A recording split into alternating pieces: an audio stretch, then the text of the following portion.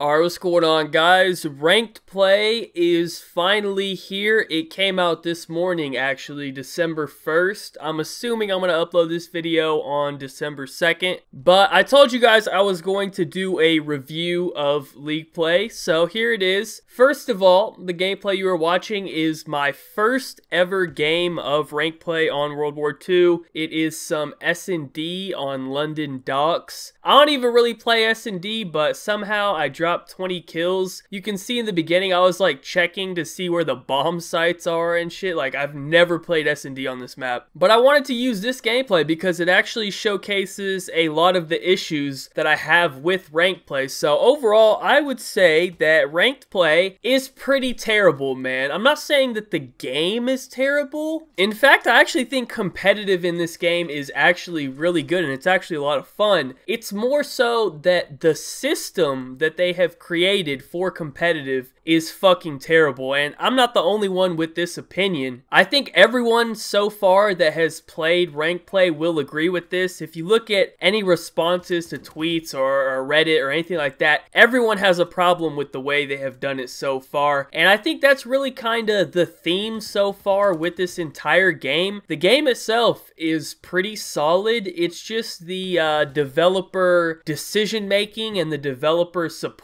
that has been terrible. That is really holding the game back and not allowing the game to be as good as it actually can be. But let's go ahead and get into it. So first of all, the most important issue I think with this so far is you do not get properly credited for your wins. For example, the gameplay you're watching, I win this game of S&D, but they actually counted it as a loss in my placement matches. And this is a big deal because the more placement matches you win, the higher rank you get to start out the season. So if I'm winning games and they're counting as a loss, it really messes up your placement. And obviously that's a pretty serious issue. It's not just happening to me, it's happening to everyone. And Sledgehammer has actually acknowledged it. They said they are working on it. But despite that, I, I want to just talk about this for a second because how the fuck does this even happen? How incompetent do you have to be to let such a game breaking mechanic exist in your game? Literally, the only point of rank play is to win the game. Stats do not matter. So I would think the number one priority of creating rank play as a developer would be to ensure that when someone wins the game, they actually receive the fucking win. Like, come on, man, you had three years to figure out such a, a simple mechanic. And on top of that, you delayed rank play for a month after the game came out, and now it's finally come out and it's still fucking broken. Like, what the hell were you doing for three years? Actually, in fact, what were you doing for this extra month that you delayed it? Did anyone even test it out and be like, oh shit, we're not crediting people for their wins. That's kind of important. Let's maybe fix this. Like, what the fuck were you doing? It's actually mind blowing to me how you could release this playlist with such an obvious mistake. It seems to me, this is all just speculation, but it seems to me that rank play was not ready at launch. That is the reason we did not receive it on day one. They have now spent the last month creating rank play, and I think that's why it has so many issues because they rushed it in the last month. So now it comes out and it fucking sucks, and I, I just don't understand, man. That's embarrassing. You had so long to make a finished product, and you still couldn't come out with a complete game. I mean, I don't understand that, but you know, you made sure supply drops were working correctly. We haven't had any issues buying COD points or opening supply drops. That works just fine, but a fucking rank play playlist doesn't even give you a win when you win the game. Like, what the fuck is going on here? Seriously. The development of this game has been a disgrace. There are so many glitches and, and issues with the game. It's as if you never even tested it out before releasing it. But my next issue with rank play is the stats. They actually did separate your rank play stats from your public match stats, which sounds good, right? That's exactly what you would want. Well, here's the problem with that. Your rank play stats are still counting towards your public match stats. So even though there's a whole separate category of rank play stats, those stats are being counted again in your public match stats. Now, I don't know if that was a mistake or if they're just fucking stupid. I am kind of leaning towards option two at this point. But what's the point in giving separate rank play stats if you're still going to count them towards your overall public match stats in the game? They're counting the stats twice. It, it doesn't really make any sense, but it wouldn't be that bad except for the fact that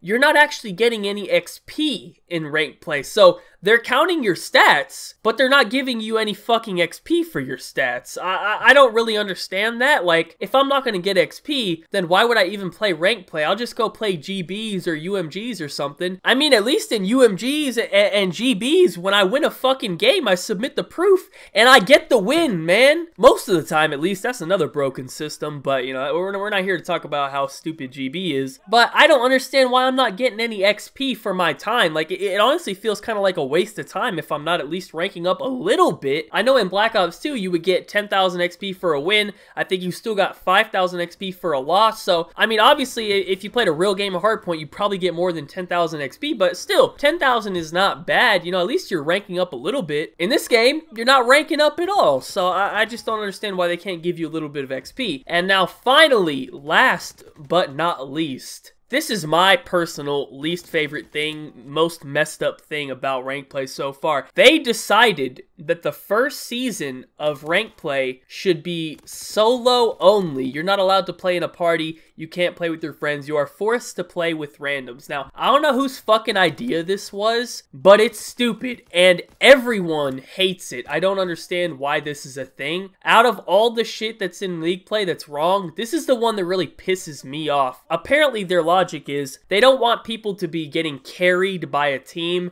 They want to rank people off of their solo performance before you can play in a team so so you get a true ranking of a player. But here's the problem, man. Whenever I play solo, my teammates uh, are either A, stupid as fuck, or B, leave the game. So I'm just losing games that I shouldn't be losing. I don't understand how that's a representation of my individual skill. When I'm dropping 40 plus kills in hardpoint playing 3v4 and my two actual teammates that haven't left the game are both double negative going 20 and 40 and we lose the game 250 to 100, how the fuck is that any indication of my personal skill? It's not. You don't get judged based off your own performance in the game. As far as I know, the only thing you're getting judged off of is a win or a loss. You lose the game, you lose points, your rank goes down. You win the game, you get points, your rank goes up. I could drop 0 kills or I could drop 50 kills. It doesn't fucking matter. So the whole point of solo makes no sense when you're not actually judging anyone's performance. You're only judging a win or a loss. And now the best part of all of this is I actually asked Michael Condrey about this Honestly, I did not expect him to respond to my tweet because I've tweeted him multiple times about this game, and these were all very genuine, polite, light concerns for the community that we would love to have answers on, and he has not responded to any of those. But this time, I honestly just roasted the fuck out of him because I was annoyed after hearing the news, and of course, he responds to this tweet. So let's go ahead and take a look. I said, Listen, man, I'm sick of you, Michael Condrey. I understand you get bullied and have no friends. I mean, who wants to be seen with a hoop earring wearing cuck? But I would enjoy playing some COD with my friends, not pussy slay Slayer 69 going 4 and 25, losing me the game. And it has 375 retweets, 1500 likes. And it certainly caught Michael's attention because he responded with this. PS69, that's uh, Pussy Slayer 69 if you didn't put that together, he didn't want to write it out, wrote and said the same about your 2 and 27. I told him the same I'll tell you, it's December. Let the holiday spirit make your heart grow three times. So basically, he's responding to me and saying that apparently I'm going 2 and 27 in a game and Pussy Slayer 69 is complaining about me. I don't think I need to explain how fucking stupid of a response that is. I've never gone 2 and 27 in my entire life on any video game. I'm not gonna go 2 and 27. You'd have to have fucking Down syndrome to go 2 and 27, man. Like, his response is fucking stupid. He doesn't want to address the actual issue. But I went ahead and responded to him with this 2 and 27 seven? Nice try. Do you realize who you're talking to? I'm not one of these awful YouTubers you invite out to play your game, but now that I finally have your attention. I need your response to this tweet since you chose to ignore it. Don't hide now, Michael. Everyone is watching. And I linked him the tweet where I politely asked him about 100 points per kill in domination. You can see the link tweet there. That tweet actually has more retweets and favorites than my original tweet that he did respond to this time. So he definitely saw it. And he saw it again when I linked it to him here. But of course, he did not respond to this tweet, which is so typical, man. You know, you know, I've tweeted him many times with actual concerns about the game, with actual questions about the game. No fucking response. I've been very respectful in those tweets, very polite. And the one time I get on here and I just roast his shit, he of course responds to that one, man. It's just so fucking typical. It's just so pathetic, man. And then like people ask me why I'm roasting this dude. Like I tried being fucking nice, man. I tried asking him real questions and I get no response. So I just gotta fucking be mean, man. I just gotta roast his shit. At least I get a response. Like fuck, man. I don't want it to be like that, but that's the way this guy fucking operates. Like what do you want me to do about it? So basically that's pretty much it for the uh, Twitter exchange that I had with Michael. Uh, I just wanted to include that because it was relevant to the video. But let's go ahead and wrap this up, man. This is not a very good ranked play system. There's a lot of issues with it that I'm hoping will be fixed. The way that it's currently set up right now, I, I just don't even want to play it until they fix all of the things that I have addressed in this video. We need to be able to play with our friends. We need to get XP. If we win the game, we actually need to get a fucking win. The stats don't need to count towards our public match stats. Until all of these things are fixed, I don't even want to play it. I don't understand why Black Ops 2 to this day had the best league play system and none of these fucking developers have copied the system from Black Ops 2. Is it copyrighted or something? Can they not take that system? Or are they just fucking stupid? I, I need an explanation because Black Ops 2 did it right, man. Just copy what they did and bring it to every other Call of Duty and we're good to go, man. I, I don't get why it has to be such a big issue, man. But anyways, I said I hope that rank play would be good, and uh, it turns out my hopes have been crushed once again. I don't even know why I was hopeful, man. I should have known better. Like, I should have known they would have fucked it up. I mean, they honestly can't do anything correct. I think, I'm not talking about the game when I say this, I think Sledgehammer is the most incompetent studio. Like, they're very out of touch with what the community actually wants. I don't know if it's because they're actually that stupid or